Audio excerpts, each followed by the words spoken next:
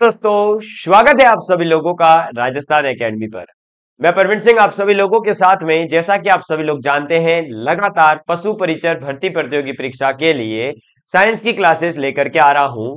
और आप सभी लोगों के लिए जो एक लास्ट क्लास से खुशखबरी आप लोगों तक पहुँच चुकी है कि हमने मैथमेटिक्स की क्लासेस भी आप लोगों के लिए शुरू कर दी है तो आप सभी लोग जो है मैथमेटिक्स और साइंस के लिए राजस्थान एकेडमी सिरोही चैनल को सब्सक्राइब कर सकते हैं और अपने दोस्तों को शेयर कर सकते हैं। इस लेवल का कंटेंट आप लोगों को पढ़ाया जाएगा। कि आपका एक भी क्वेश्चन बाहर नहीं जाए। आप चाहे तो हमारे एलडीसी के क्लास के कंटेंट को देख करके ये पता लगा सकते हैं कि किस लेवल का क्वालिटी कंटेंट आप लोगों को साइंस और मैथ्स के अंदर मिलने वाला है। और आप लोगों को बता दूँ कि बड़ी खुशखबरी की बात आप लोगों के लिए ये है कि ये पूरा का पूरा बैच आप लोगों को निशुल्क हमारे यूट्यूब चैनल पर मिलने वाला है। वो भी एकदम क्रम वाइज और लगातार मिलने वाला है आपकी भर्ती प्रतियोगी परीक्षा तक। हम बात कर रहे थे साइंस के अंतर्गत तीन भाग होते हैं। एक होता है भौतिक विज्ञान, एक है रासायनिक विज्ञान और एक है आपका बायोलॉजी यानी जीव विज्ञान। हम पहले कंप्लीट करेंगे भौतिक विज्ञान यानी फिजिक्स को, जिसके अंतर्गत मैकेनिक्स यांत्रिकी वाला पोर्शन अपना चल रहा है और इसके बाद में अपन ने इसमें शुरू कर दिया है अब वर्क पावर एनर्जी टॉपिक जिसके अंतर्गत मैं वर्क और एनर्जी, यानी कि कार्य और ऊर्जा जो है, उनकी डेफिनेशंस उनके मात्रक, वो अधिस राशि है, सदिश राशि है, और उनकी डेफिनेशंस वगैरह समझा चुका था। आज हम पढ़ने वाले हैं ऊर्जा के अलग अलग रूपांतरण करने वाले उपकरणों के बारे में और ऊर्जा संरक्षण का नियम क्या है उसके बारे में, और इसके बाद में आगे अपन पढ़ेंगे शक्ति के बारे में, यानी पावर के बारे में। आप सभी लोग अपने हथियार निकाल लीजिए, कॉपी और पेन लेकर के आ जाइए। और चलिए, आज की बेहतर सी शाम के साथ में बहुत ही शानदार सी क्लास की शुरुआत करते हैं। तो अब सबसे पहले आप सभी लोग अपनी कॉपी में हेडिंग डाल दीजिए, ऊर्जा संरक्षण का नियम। हेडिंग डालेंगे। ऊर्जा संरक्षण का नियम। एनर्जी कंजर्वेशन लॉ ये क्या कहता है? एनर्जी कंजर्वेशन लॉ या ऊर्जा संरक्षण का नियम यह कहता है कि ऊर्जा केवल एक रूप से दूसरे रूप में बदली जा सकती है या फिर जो है, आप क्या कर सकते हो, इसको केवल और केवल मेरे से, किसी और में, किसी और से, किसी और में ट्रांसफ़र कर सकते हो, लेकिन ऊर्जा को ना तो आप नष्ट कर सकते हो और ना ही ऊर्जा को आप उत्पन्न कर सकते हो, यानी ऊर्जा का निर्माण भी आप नहीं कर सकते। तो ऊर्जा संरक्षण का नियम क्या कहता है कि ऊर्जा जो है, वो एक रूप से दूसरे रूप में, यानी मान लो ये ए था, ये कोई बी है, ये सी है, ये कोई डी है, ठीक है? ये चार अलग अलग रूप है ऊर्जा के। तो आप ए से बी में जा सकते हो बी से सी में जा सकते हो सी से डी में डी से बी में बी से ए में ए से सी में।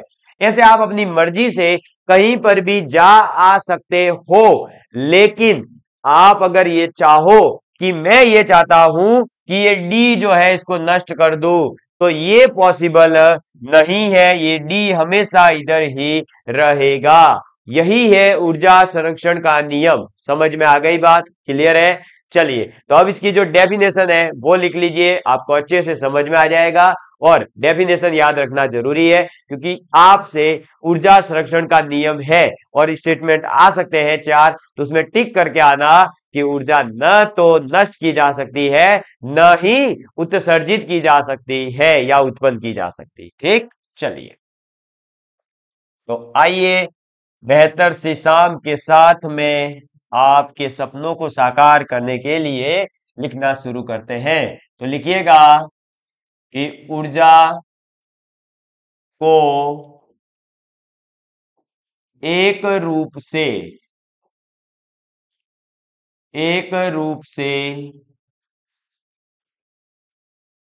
दूसरे रूप में एक रूप से दूसरे रूप में परिवर्तित, यानी कि चेंज ट्रांसफ़र परिवर्तित कर सकते हैं। लेकिन लेकिन, न तो ऊर्जा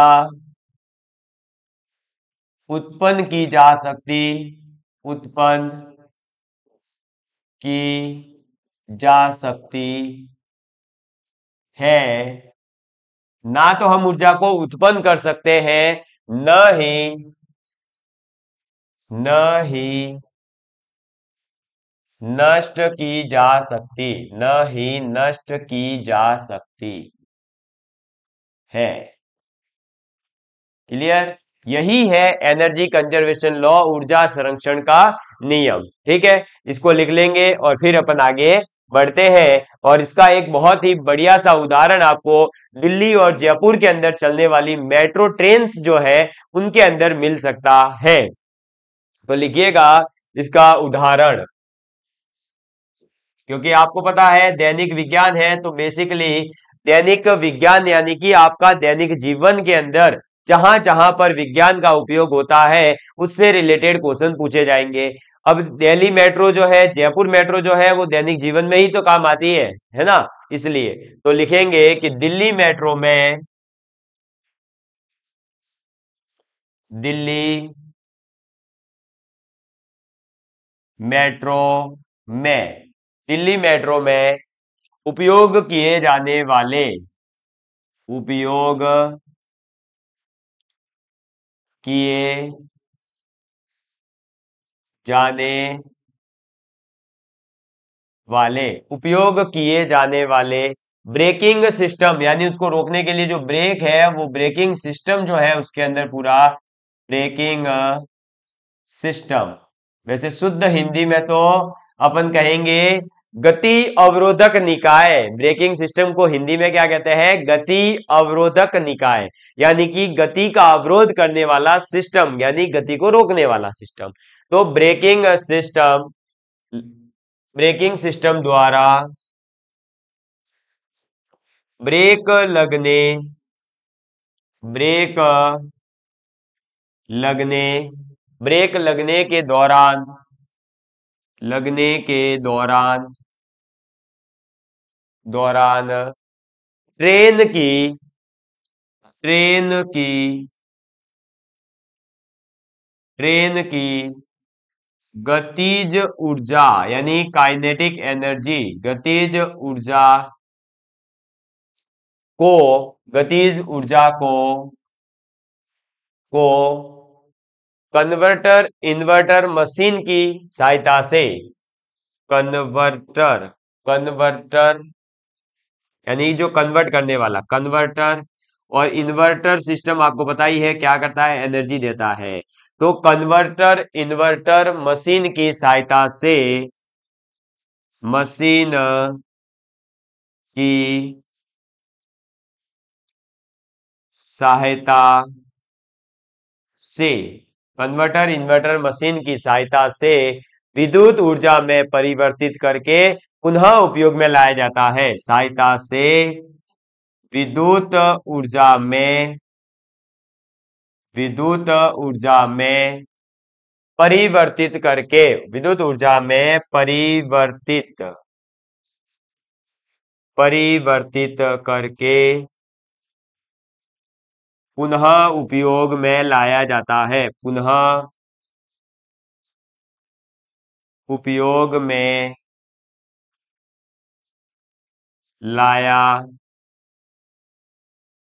जाता है। समझ में आ गई बात? तो किस प्रकार से आप देख रहे होंगे कि हम जो है एक दिल्ली मेट्रो जो चल रही ट्रेन है, उसको जैसे ही ब्रेकिंग सिस्टम से अपन रोकेंगे तो रोकने के दौरान जब रोकते हैं तो ब्रेक मारते ही रुकेगी, है ना? मतलब आपको पता ही है कि ये जो मेट्रो ट्रेन है वो तो रुक जाती है थोड़ा सा जल्दी, बाकी ट्रेन के कंपैरिजन में। तो वो जब चलने के दौरान जो गतिज ऊर्जा उसके अंदर थी, काइनेटिक एनर्जी थी, उस गतिज ऊर्जा को उसके अंदर लगे हुए कन्वर्टर इन्वर्टर मशीन की सहायता से क्या किया जाता है कि गतिज ऊर्जा को विद्युत ऊर्जा में बदला जाता है और उस विद्युत ऊर्जा का उपयोग जो है, पुनः किया जाता है किसको चलाने में? इसी दिल्ली मेट्रो या दिल्ली जयपुर, जहाँ भी मेट्रो चल रही है, उस मेट्रो को चलाने के लिए। समझ में आ गई बात? तो आप अब जो है ये समझ गए होंगे कि ऊर्जा संरक्षण का नियम एनर्जी कंजर्वेशन लॉ क्या कहता है और यह जो है आपके डेली लाइफ में कैसे अपन यूज़ में लाते हैं। क्लियर अब जो है, यहाँ पर एक वर्ड आया कि कन्वर्टर इन्वर्टर मशीन ये क्या कर रहा है कि गतिज ऊर्जा को विद्युत ऊर्जा में बदल रहा है। तो ऐसे ही बहुत सारे अलग अलग उपकरण हैं जो क्या करते हैं कि एक ऊर्जा के रूप को किसी और ऊर्जा के रूप में बदलते हैं। जैसे कि आपने जो है विद्युत सेल का नाम सुना होगा। सेल तो देखा ही होगा। घर पे रिमोट है अगर टीवी का या फिर जो है कोई बैट आपके घर पर मान लीजिए कोई बैटरी वगैरह है तो उसके अंदर सेल लगे हुए रहते हैं।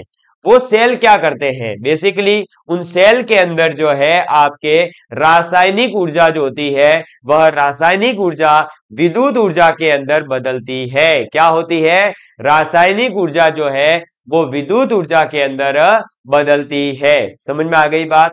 चलिए। तो अब आप लिखेंगे, क्या लिखेंगे? तो अब लिखिएगा कि ऊर्जा रूपांतरित करने वाले उपकरण, क्या लिखेंगे? ऊर्जा रूपांतरित करने वाले उपकरण। हेडिंग डालेंगे। ऊर्जा रूपांतरित, यानी कि ट्रांसफ़र एक दूसरे से फॉर्म कन्वर्ट करने वाले ट्रांसफॉर्मेशन करने वाले। ऊर्जा रूपांतरित करने वाले उपकरण। ठीक है? तो वो इंस्ट्रूमेंट्स जो क्या करेंगे? एक एनर्जी फॉर्म को किसी और एनर्जी फॉर्म के अंदर कन्वर्ट करेंगे।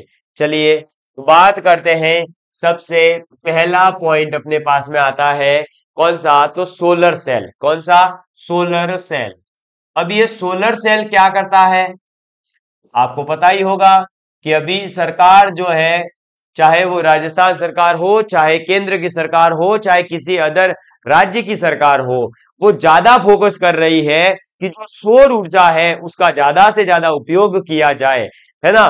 और राजस्थान के अंदर तो सौर ऊर्जा की सर्वाधिक संभावनाएँ हैं, क्योंकि तो यहाँ पर सर्वाधिक आप लोग जानते हैं कि सूर्य की जो किरणें हैं, वो जैसलमेर वाला जो एरिया है, जहाँ पर ज़्यादा गर्मी पड़ती है, जहाँ ज़्यादा समय तक सूर्य का ताप रहता है, वहाँ पर सौर ऊर्जा के बहुत ज़्यादा जो है, एक हम ये कह सकते हैं कि संभावनाएँ है या हम ये कह सकते हैं पॉसिबिलिटीज है कि अपन जो है सौर ऊर्जा पर पूरा राज्य निर्धारित निर्भर करवा देवे। यानी अपने को जो है ये फिर विद्युत ऊर्जा की ज़रूरत ही नहीं पड़ेगी, सौर ऊर्जा से ही पूरे राज्य में विद्युत उपलब्ध करवाई जा सकती है। इतनी ज़्यादा पॉसिबिलिटीज है।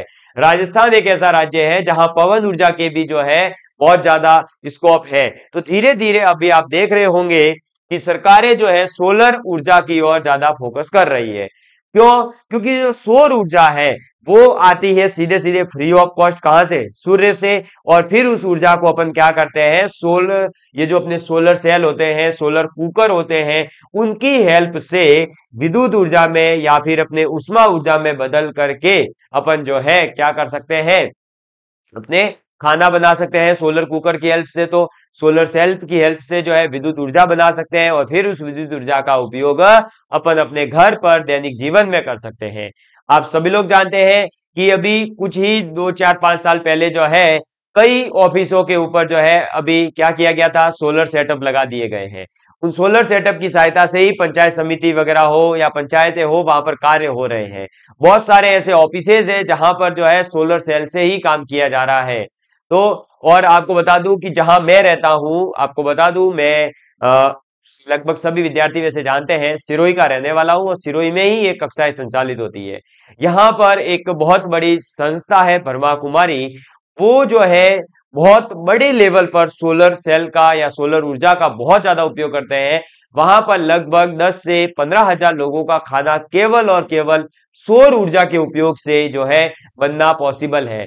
तो ये सोचिए कि जब एक संस्था में इतना बड़ा लेवल पर काम किया जा सकता है तो क्यों ना जो है हम भी अगर अपने घर पर, छतों पर सौर ऊर्जा का पूरा पैनल लगा देवे। और बता दूँ कि जालोर है, जैसलमेर है, बाड़मेर, बीकानेर ऐसे इलाके में तो सोलर सेल का बहुत ज़्यादा स्कोप है, बहुत ज़्यादा जो है वहाँ पर इसका उपयोग किया जा सकता है। और इस विद्युत ऊर्जा की जो कमी है, जो कोयले की कमी है, उससे अपन निपट सकते हैं। तो सोलर सेल की बात करें तो ये क्या करता है? सौर ऊर्जा को, सौर ऊर्जा को, सौर ऊर्जा को विद्युत ऊर्जा विद्युत ऊर्जा में, ठीक है? अब मैं पूरा नहीं लिखूँगा, बदलता है बदलता है बार बार, इसलिए याद रख लेना कि सौर ऊर्जा को विद्युत ऊर्जा में कौन बदलेगा? Solar cell. दूसरा अपन बात करते हैं अपने किसकी? लाउड स्पीकर्स है ना? जो अपने लाउड स्पीकर्स है या जो भी स्पीकर है वो। जैसे आप भी अपने घर पर अभी मेरी आवाज़ मोबाइल में सुन रहे हैं, अब वो किसकी हेल्प से सुन पा रहे हैं? स्पीकर की हेल्प से।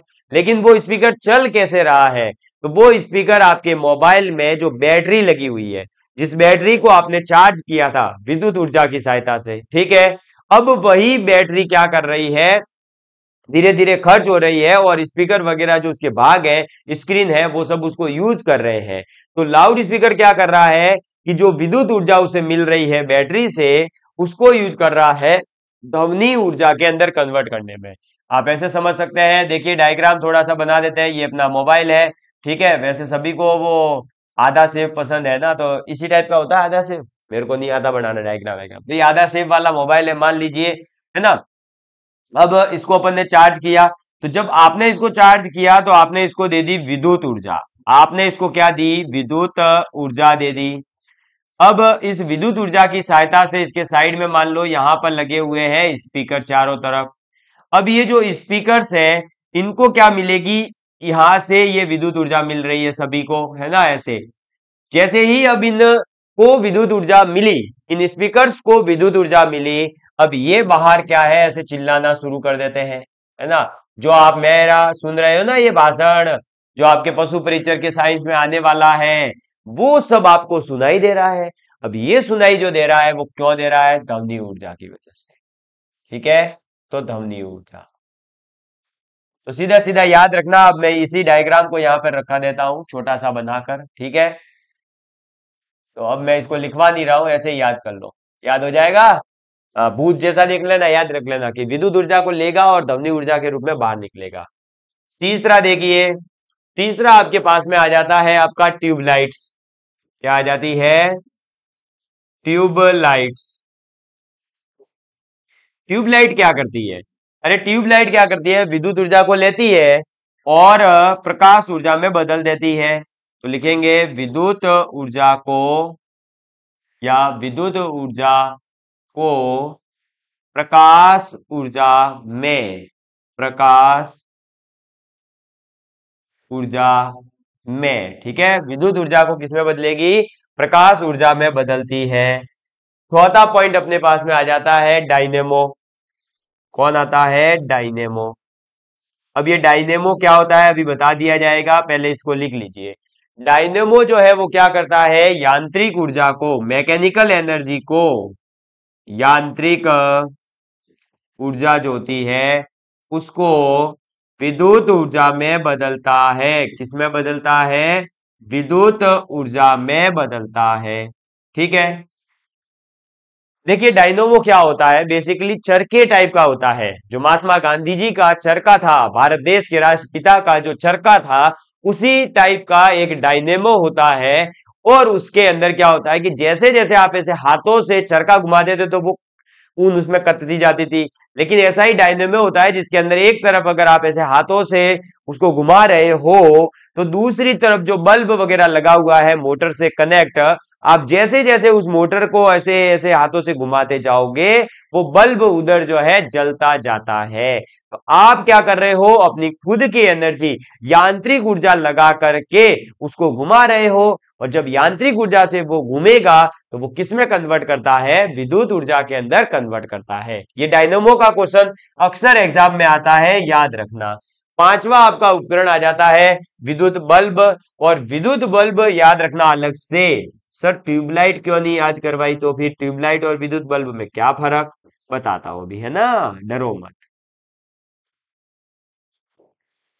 ठीक है, देखिए। विद्युत बल्ब का मतलब है कि ये क्या करेगा? विद्युत ऊर्जा को। लेता तो सही है है ना? ये विद्युत ऊर्जा तो लेगा ही। लेकिन ये केवल और केवल विद्युत ऊर्जा को प्रकाश ऊर्जा में नहीं बदलता है, बल्कि उष्मा ऊर्जा में भी बदलता है। ये इसलिए याद रखना। तो प्रकाश विद्युत ऊर्जा को उष्मा व प्रकाश ऊर्जा में। प्रकाश ऊर्जा में। समझ में आ गई बात? तो ये जो आपका विद्युत बल्ब है, ये क्या करता है? विद्युत ऊर्जा को उष्मा ऊर्जा और प्रकाश ऊर्जा दोनों में बदलता है। आप अगर अपने घर पर अभी भी कोई बड़ा जो बल्ब आता था, पहले जो चमकता था, पीले कलर का, है ना? पूरा वैसे दिखता एकदम ट्रांसपेरेंट था, लेकिन जब चालू होता था तो पीले कलर की लाइट देता था। उसको आप थोड़ी देर चालू करके रखना और फिर उसको हाथ देना। बहुत ज़बरदस्त गर्म होता है वो, जिसे अपन कहते हैं कि आइंस्टीन महोदय ने जो है सॉरी एडिसन नामक वैज्ञानिक ने उस बल्ब को ढूंढा था। तो वो जो है, ऐसा बहुत ज़्यादा होता है गर्म। इसीलिए उसे कहते हैं कि उष्मा और उसके अंदर प्रकाश ऊर्जा दोनों है। लेकिन जो वर्तमान में अभी जो एलईडी बल्ब आते हैं या जो टिपलाइट्स आती है, वो इतनी ज़्यादा गर्म नहीं होती है, इसलिए वो केवल प्रकाश ऊर्जा याद रखनी है। ठीक? चलो।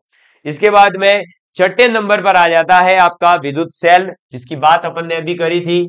ये सब पूछे जाएँगे। लिखिए। विद्युत सेल। अब ये विद्युत सेल क्या करता है? तो ये रासायनिक ऊर्जा को रासायनिक ऊर्जा को विद्युत ऊर्जा में, रासायनिक ऊर्जा को विद्युत ऊर्जा में बदलता है। इसके बाद में नंबर सेवन पर अपने पास में आ जाता है सितार। क्या आ जाता है? सितार, है ना? सितार जो होता है ना वो। तो सितार क्या करता है? तो ये यांत्रिक ऊर्जा को, सितार क्या करता है? यांत्रिक ऊर्जा को किसमें बदलता है? तो ध्वनि ऊर्जा में, लिखेंगे। अरे भाई, हाथों से अपन जब बजाते हैं सितार को, तब क्या होता है? यांत्रिक ऊर्जा दे रहे होते हैं। तो यांत्रिक ऊर्जा को ध्वनि ऊर्जा में। ठीक? इसके बाद में नंबर एट अपने पास में आ जाता है, सितार के बाद में आपका पवन चक्की। अभी मैंने बोला था ना, राजस्थान में पवन ऊर्जा के भी स्कोप है तो वो क्या करते हैं, ये पवन चक्की होती है। ये पवन चक्की क्या करती है, जो पवन आ रही होती है, जो गतिज ऊर्जा होती है पवन की, उस गतिज ऊर्जा को, गतिज ऊर्जा को किसमें बदलती है? तो गतिज ऊर्जा को यांत्रिक ऊर्जा के अंदर बदल देती है, क्योंकि वो ऐसे ऐसे घूमने लगता है। और वो जब घूमता है तो यांत्रिक ऊर्जा मिल रही है, फिर उसी यांत्रिक ऊर्जा को हम विद्युत ऊर्जा में बदलते हैं। तो क्या होता है? गतिज ऊर्जा को यांत्रिक ऊर्जा में तो कौन बदलेगा? यांत्रिक ऊर्जा में। ठीक है? तो आपके गतिज ऊर्जा को यांत्रिक ऊर्जा में पवन चक्की, फिर इस यांत्रिक ऊर्जा को गतिज ऊर्जा में कौन बदलेगा? डायनेमो। ठीक है? चलो। पवन चक्की के बाद में नेक्स्ट आपके आ जाता है विद्युत मोटर। विद्युत मोटर। अब ये विद्युत मोटर क्या करती है? तो विद्युत मोटर जो है, वो विद्युत ऊर्जा को यांत्रिक ऊर्जा में बदलती है। अरे, अपने घर पर जैसे ही आप पानी की मोटर को चालू करते हो तो उसको आप क्या देते हो? विद्युत ऊर्जा। फिर वो विद्युत ऊर्जा क्या करती है? मोटर को चालू करती है। मोटर जैसे चालू होती है तो नीचे जो पानी पड़ा हुआ था ओद में, वो सीधा आपके ऊपर, जितनी ऊपर टंकी होती है, वहाँ तक पहुँच जाता है। तो ये बताइए, क्या वो जो टंकी तक पानी गया, उसको फोर्स मिला? यानी मैकेनिकल एनर्जी ने काम किया। ठीक है तो वो किसकी हेल्प से होता है? उसी विद्युत ऊर्जा को इसमें बदला जाता है यांत्रिक ऊर्जा में। कौन बदलता है? मोटर। लेकिन यांत्रिक ऊर्जा को विद्युत ऊर्जा में डायनेमो, ठीक है? तो विद्युत ऊर्जा को यांत्रिक ऊर्जा में। यांत्रिक ऊर्जा में। ये पॉइंट आपको याद रखना है। इसके बाद में दसवां पॉइंट आपके पास में आ जाता है विद्युत मोटर के बाद में मोमबत्ती। मोमबत्ती तो देखी होगी आपने सभी ने। और अक्सर बर्थडे पर आजकल यही ट्रेंड चल रहा है है? कि एक और मोमबत्ती तो ना हो तो जैसे बर्थडे था, एक साल पूरा होगा ही नहीं, है? ऐसा लगता है ना कई बार तो है ना? कई बार तो ऐसे बर्थडे लोग मना लेते हैं कि ऐसा लगने लगता है कि अगर इस बंदे ने बर्थडे नहीं मनाया होता तो इसका एक साल भगवान बढ़ाते ही नहीं जैसे। तो मोमबत्ती में लिख लीजिए, ये क्या करता है? रासायनिक ऊर्जा जो होती है, मोमबत्ती किससे बनी होती है? रसायन से। तो रासायनिक ऊर्जा। उसमें क्या होती है? रासायनिक ऊर्जा होती है। और उस रासायनिक ऊर्जा को मोमबत्ती किसमें बदलती है? प्रकाश और इसके साथ में किसमें बदलेगी? उष्मा ऊर्जा में। ये बल्ब की तरह है। तो प्रकाश व उष्मा ऊर्जा में। क्लियर? चलिए। इसके बाद ग्यारहवा आप पॉइंट लिखेंगे। मोमबत्ती के बाद में आ जाएगा आपका माइक्रोफोन। कौन आ जाएगा? माइक्रोफोन। अब ये माइक्रोफोन क्या करता है? तो माइक्रोफोन जो है वो ध्वनि ऊर्जा को, जैसे ये देखो, ये लगा हुआ है मेरे पास माइक्रोफोन। अब मैं इसको ध्वनि ऊर्जा दे रहा हूँ। इस ध्वनि ऊर्जा को ये क्या कर रहा है? विद्युत ऊर्जा में कन्वर्ट करके लैपटॉप में दे रहा है। फिर लैपटॉप से आप तक पहुँच रही है ये आवाज़। तो ये क्या कर रहा है? ध्वनि ऊर्जा को विद्युत ऊर्जा में बदलता है। या फिर आपने जो एरोप्लेन के अंदर पायलट्स वगैरह लगा करके लगते हैं ना अपने इधर, लगा करके वो हेलो हेलो हेलो हेलो बोलते रहते हैं, फिर बताते हैं कि हम यहाँ पहुँच गए, वो पहुँच गए। तो वो जो होते हैं वो माइक्रोफोन ही होते हैं बेसिकली ठीक? तो ध्वनि ऊर्जा को विद्युत ऊर्जा में, विद्युत ऊर्जा में, ठीक है? चलिए। इसके बाद बारवा पॉइंट अपने पास में आ जाता है और ये लास्ट है, विद्युत हीटर। विद्युत हीटर। अब ये विद्युत हीटर क्या करता है? तो विद्युत हीटर जो है, वो विद्युत ऊर्जा को लेकर के उष्मीय ऊर्जा में कन्वर्ट करता है। विद्युत ऊर्जा को उष्मीय ऊर्जा में। उष्मीय ऊर्जा में। समझ में आ गई बात? तो ये है अपने कुछ उपकरण जो क्या करेंगे? एक ऊर्जा के रूप को अन्य ऊर्जा के रूप में कन्वर्ट करते हैं। टोटल ये मैंने 12 अलग अलग उपकरण लिखवाए हैं, जिनसे रिलेटेड एग्ज़ाम में क्वेश्चंस आते रहते हैं। एक बार पुनः इन्हें पढ़ेंगे और फिर आगे बढ़ेंगे। ठीक है? देखिए सोलर सेल क्या करेगा? सौर ऊर्जा को विद्युत ऊर्जा में बदलेगा। लाउड स्पीकर क्या करेंगे? विद्युत ऊर्जा को इसमें बदलेंगे ध्वनि ऊर्जा में। आपका ट्यूबलाइट क्या करेगी? विद्युत ऊर्जा को प्रकाश ऊर्जा में बदलेंगे। डायनोमो क्या करेगा? यांत्रिक ऊर्जा को विद्युत ऊर्जा में बदलेगा। आपका विद्युत बल्ब विद्युत ऊर्जा को उष्मा और प्रकाश ऊर्जा में बदलेगा। आप स्क्रीनशॉट ले सकते हैं। इसके बाद में अपन आगे बढ़ेंगे। आई थिंक ले लिया होगा स्क्रीनशॉट इतना समय तो पर्याप्त होता है है? फिर ज़्यादा लंबी क्लास हो जाती है। विद्युत सेल क्या करेगा? तो विद्युत सेल जो है, वो रासायनिक ऊर्जा को विद्युत ऊर्जा में बदलता है। सितार आपका क्या करता है? तो सितार जो है, वो यांत्रिक ऊर्जा को ध्वनि ऊर्जा में बदलता है। पवन चक्की क्या करती है? पवन चक्की गतिज ऊर्जा को यांत्रिक ऊर्जा में बदलती है। विद्युत मोटर विद्युत ऊर्जा को यांत्रिक ऊर्जा में। मोमबत्ती रासायनिक ऊर्जा को आपके प्रकाश और उष्मा ऊर्जा में बदलती है। माइक्रोफोन क्या करता है? ध्वनि ऊर्जा को विद्युत ऊर्जा में बदलता है और विद्युत हीटर क्या करता है? विद्युत ऊर्जा को उष्मीय ऊर्जा के अंदर कन्वर्ट करता है। ठीक है दोस्तों तो आज की क्लास को मैं यहीं तक रखने का सोच रहा हूँ और आज का जो क्लास है वो आप सभी लोगों को मुझे उम्मीद है कि पसंद आई होगी और यदि आप लोगों को ये क्लास पसंद आई हो प्लीज़ ज़्यादा से ज़्यादा विद्यार्थियों तक शेयर करने का प्रयास करिएगा। आप सभी लोगों को जो है निशुल्क रूप से पढ़ाने का जो मेरा प्रयास है, वो तभी सार्थक है जब आप इसे ज़्यादा से ज़्यादा विद्यार्थियों तक पहुँचा सकेंगे।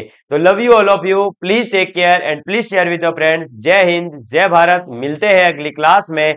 आज की दो लाइनें यही कहना चाहूँगा कि लाख दलदल हो, हाथ जमाए रखना। लाख दलदल हो, हाथ जमाए रखना। हाथ खाली ही सही, ऊपर उठाए रखना। हाथ खाली ही सही, ऊपर उठाए रखना। कौन कहता है चलने में पानी नहीं टिकता? अरे पानी को बर्फ़ बनने तक हौसला बनाए रखना। पानी को बर्फ़ बनने तक हौसला बनाए रखना। जय हिंद जय भारत।